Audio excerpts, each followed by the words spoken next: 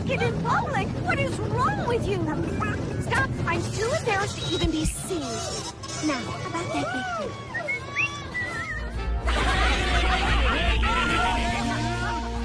Boy, some people ain't got no class.